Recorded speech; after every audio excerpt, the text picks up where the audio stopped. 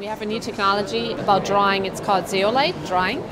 And what we have is it's little balls. And how it works is we add water to this. So in the dishwasher, water steam, it reacts with water, and heat is being blown up in the dishwasher and dries all the cups. We have the you have the little pearls on the bottom of the dishwasher. They get heated up during the washing cycle, like when you have to add the heat to heat up the water the little pearls get heated up and then when you want to dry like the water steam is added like is added underneath under the pearls the heat gets all the way pushed up and it dries all the cups and the dishes